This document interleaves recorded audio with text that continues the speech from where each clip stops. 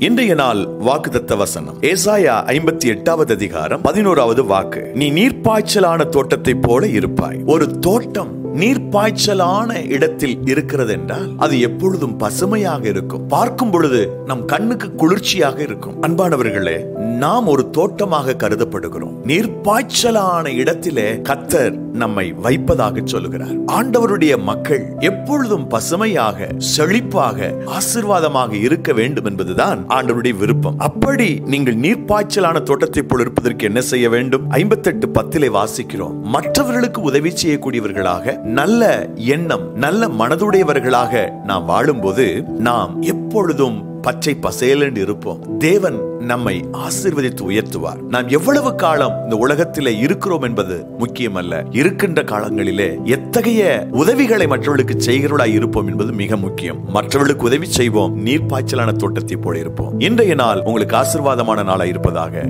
God bless you